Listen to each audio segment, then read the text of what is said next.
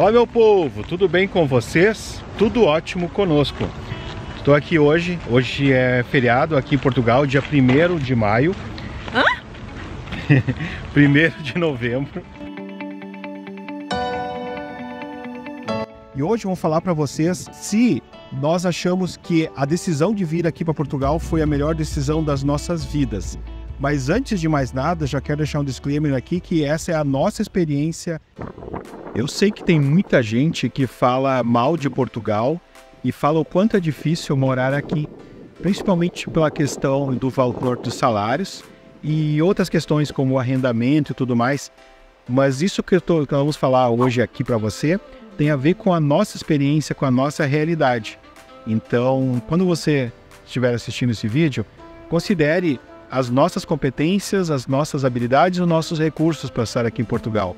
Não queremos que você generalize essa informação, porque normalmente as generalizações elas acabam é, trazendo uma interpretação errada para quem está pensando em vir aqui para Portugal. Quando eu falei, quando eu comecei a comentar contigo de nós podermos talvez vir morar em Portugal, qual foi o teu sentimento, a tua expectativa em relação a isso?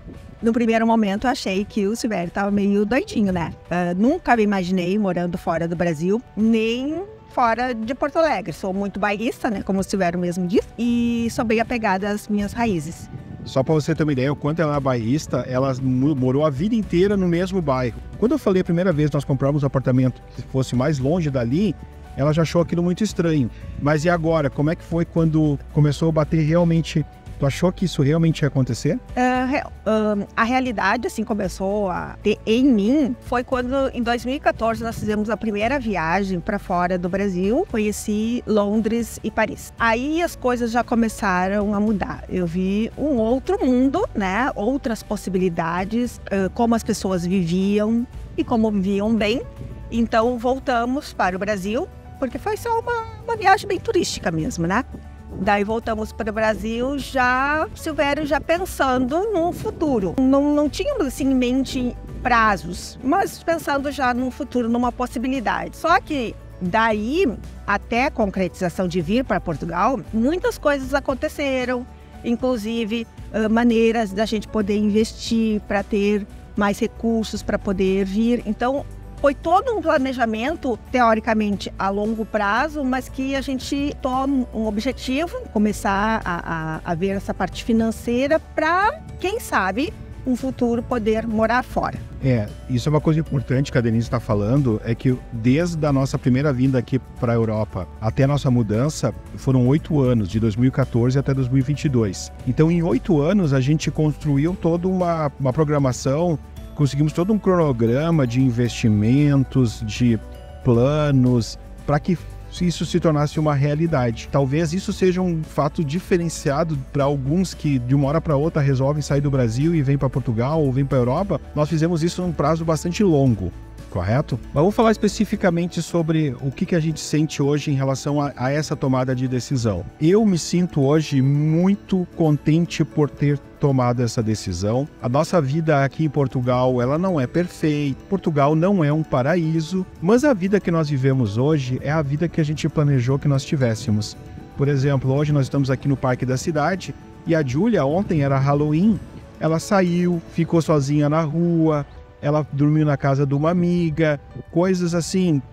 Trouxemos uma autonomia para ela e uma segurança dela poder fazer as coisas de maneira autônoma que nós nunca imaginaríamos no Brasil.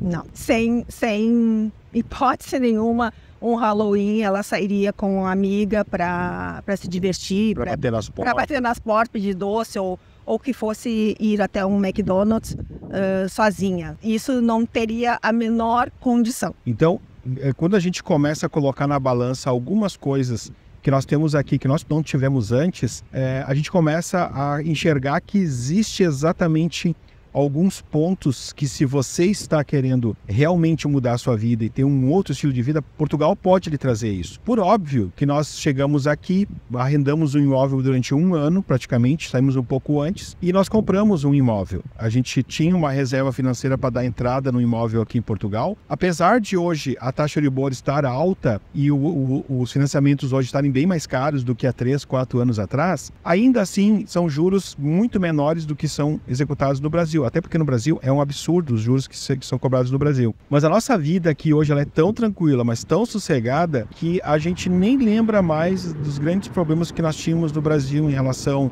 a todos os meses estar preocupado se não teria algum tipo de custo extra, é, o colégio, se aumentar o colégio, se não ia aumentar o colégio, se tivesse que fazer um investimento em alguma outra coisa, numa dança, num teatro, alguma coisa, o quanto a gente gastaria com isso. É, chegando no segundo grau, quais seriam as despesas que nós teríamos que incrementar em relação à própria Júlia. Hoje a gente tem uma segurança financeira muito boa aqui. Por que, que a gente paga hoje aqui, para vocês terem uma ideia? A prestação do imóvel, 660 euros. O seguro que nós temos para mim e para Denise, mais 50 euros. Mais uns 60 euros de luz, água e, uh, luz e gás, uh, eh, 25 euros de água e 85 de internet e três telefones celulares. Essas são as contas que nós temos aqui em Portugal.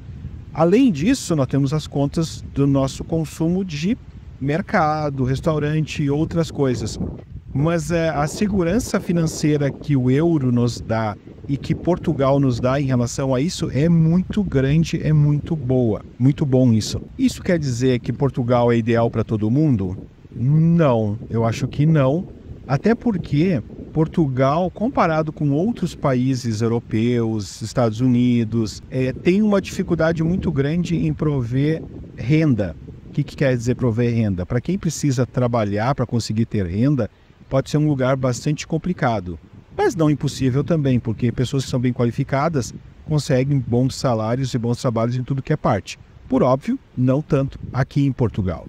Mas o que aconteceu na nossa vida foi que eu sempre levei uma vida muito voltada a tentar enxergar as oportunidades e transformar o nosso cotidiano e a nossa vida normal em conseguir enxergar quais seriam as possibilidades e as oportunidades que nós temos em relação a isso. Nós não somos ricos de jeito nenhum, nós não ganhamos nada de ninguém, tudo que a gente tem foi por esforço nosso que nós conquistamos, mas quando nós chegamos aqui em Portugal, agora nós estamos tendo outras possibilidades.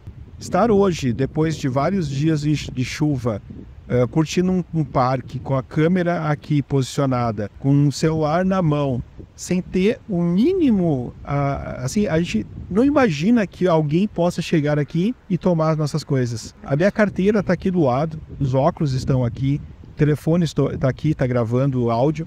Eu tenho uma câmera Canon que está aqui parada. E isso não passa mais na cabeça da gente. Então isso faz muita diferença. É, antes do Brasil, a qualquer momento que a gente saía, a gente ficava sempre se cuidando para ver se não tinha alguém nos cuidando para ser assaltado. Isso tem aqui, Denise? Não. Essa tranquilidade que o Silvério está falando, para mim não tem preço. Eu acredito que qualquer pai, qualquer mãe queira isso, né? Para si e para seus filhos. E este ganho, é, como eu já disse, não tem preço, não, não tem nada que faça trocar assim. Isso para mim é o primordial. Então, passado, por que, que eu resolvi fazer esse vídeo nesse momento? Porque eu acho que é um pouco prematuro as pessoas saírem falando das suas vidas logo que chegam aqui os primeiros meses, que as pessoas estão deslumbradas, que as pessoas estão cheias de dificuldades também, podem falar mal de alguns aspectos burocráticos, documentais, porque aquele momento ele é complicado de verdade. Mas agora, passado um ano e meio, olhando, olhando para trás, fazendo uma retrospectiva de como foi, de como está a nossa vida aqui em Portugal, chega-se à conclusão que nós conseguimos uma estabilidade emocional, financeira e segurança muito grande o que nós temos hoje aqui, às vezes a gente sente um pouco de monotonia, assim, de falta algumas coisinhas, alguns momentos, mas logo em seguida a gente faz novos planos, novas viagens, novos desafios, e isso faz toda a diferença. A Júlia, por exemplo, ela entrou no segundo grau agora no secundário, ela pôde escolher um curso de artes que é o que ela sempre quis fazer. Isso não quer dizer que daqui a pouco ela começa a reclamar de algumas matérias, de algumas coisas. É, daqui a pouco ela tem, ela tem geometria na parte de artes, daqui a pouco ela começa a reclamar um pouquinho. A parte de artes, ela talvez ela gostaria que fosse mais voltada para uma área mais criativa e às vezes tu tem que estudar a primeira parte técnica, né?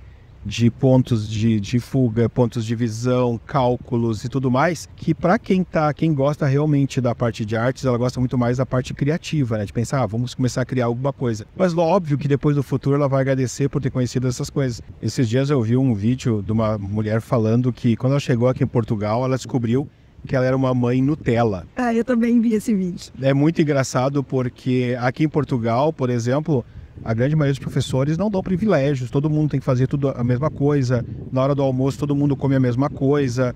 E os pais do Brasil, eh, não quero criticar vocês, talvez você seja alguém assim, mas nós todos somos um pouco assim no Brasil. Nós estamos criando é, filhos que vão ser meio boca abertas, porque a gente quer fazer com que eles não sofram nada, que tenham o mínimo de problemas possíveis mas isso não cria uma pessoa de personalidade, não cria uma pessoa preparada para os desafios da vida. Então eu achei muito engraçado que ela dizia, ah, descobri aqui em Portugal que eu sou uma mãe Nutella. E hoje eu tenho bastante em mente que a Júlia vai ter que passar pelos processos de aprendizagem que ela tem que passar. A Denise ainda às vezes fica um pouco receosa, preocupada com algumas coisas que ela tenta proteger. Uma questão de mãe mas é uma questão que talvez as pessoas precisem passar por isso. Mas quando a gente estava no Brasil e olhava um monte de vídeos e um monte de informações na internet, era tudo muito complicado, muito confuso. Tu escutava uma pessoa aqui, outra pessoa lá, e na verdade tinha uma dificuldade muito grande de entender como é que seria o cenário no nosso caso. Então, depois desse um ano e meio aqui em Portugal, eu me senti confortável para poder fazer uma compilação de todas as informações, experiências que nós tivemos nesse processo de mudança aqui para Portugal. E assim como eu faço bastante conteúdo para o canal, acabo estudando muito sobre Portugal, sobre os conselhos, sobre todas essas questões que são fundamentais para quem está mudando para cá. Eu criei um e-book para ajudar as pessoas que vêm para Portugal com visto D7 ou como nome digital. Vou deixar aqui embaixo na descrição. Outra novidade bastante interessante é que eu estou criando um grupo de uma equipe de consultores na área imobiliária aqui em Portugal a partir dos membros do canal. Acho que já são nove ou dez pessoas que eu conversei que estão dispostas a fazer esse trabalho e a partir de janeiro nós vamos disponibilizar para vocês o serviço para ajudar vocês a comprarem um imóvel aqui em Portugal, mesmo vocês estando no Brasil ainda. Então nós já temos a parceria do Rafael Fonseca para conseguir ajudar o crédito imobiliário aqui em Portugal.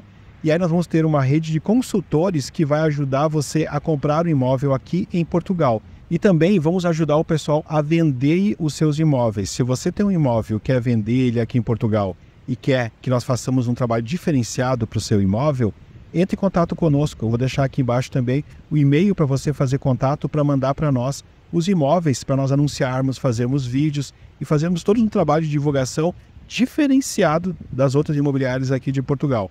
Porque a nossa ideia é conseguir ajudar o brasileiro a vir para cá e ter uma ótima experiência de compra de imóvel aqui ou estando no Brasil, conseguir um bom financiamento imobiliário com taxas boas que não sejam as taxas absurdas que às vezes alguns bancos cobram. Olha as grandes vantagens que você vai ter. Conseguir um financiamento bancário em Portugal com taxas, umas boas taxas, trabalhar com uma equipe de consultores imobiliários por toda Portugal que vai ajudar você a comprar o melhor imóvel para você. Então, eu vou deixar um e-mail aqui embaixo para você entrar em contato. Nós vamos começar a fazer esse trabalho a partir de janeiro de 2024. Se você quiser já se adiantar e mandar para nós o contato, ou quiser já começar a conversar sobre isso, manda um e-mail. O e-mail está aqui embaixo. Eu considero que essa mudança para Portugal foi uma das melhores decisões que nós já tomamos na nossa vida. Poderíamos ter vindo antes? Talvez, mas talvez nós não, não teríamos a maturidade e os recursos necessários para fazer essa mudança para cá. Eu acho que cada um tem o tempo certo de fazer as mudanças. Muitas vezes não é a mudança que deu errado, é Talvez você não estava no momento certo de poder fazer essa transição. Eu conheço pessoas que vieram há muito tempo atrás para Portugal e para a Europa e não se adaptaram por vários motivos, mas talvez você tem que estar pronto para poder fazer essa jornada e essa mudança.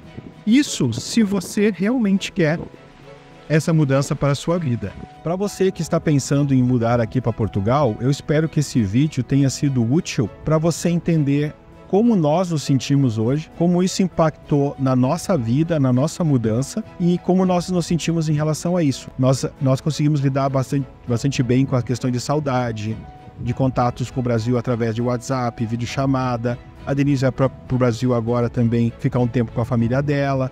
Mas assim, nós conseguimos criar uma estrutura que nós demos conta dos principais problemas. Então é uma série de questões que precisam ser abordadas. Então vamos ficando por aqui. Até uma próxima vez, onde a gente possa conversar mais um pouquinho sobre Portugal. Obrigado por assistir mais esse vídeo, agradeço demais a sua audiência. Vou deixar os contatos aqui embaixo na descrição do vídeo e no primeiro comentário. Valeu, pessoal, um grande abraço e até mais.